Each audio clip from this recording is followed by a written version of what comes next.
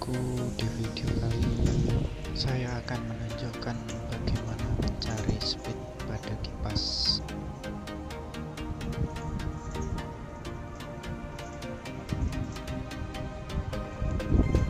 Ya ini kipas 100 volt AC yang biasanya digunakan pada listrik 110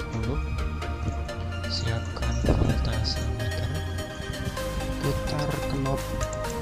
voltameter di resistensi tegangan 2000 di sini saya gunakan spidol untuk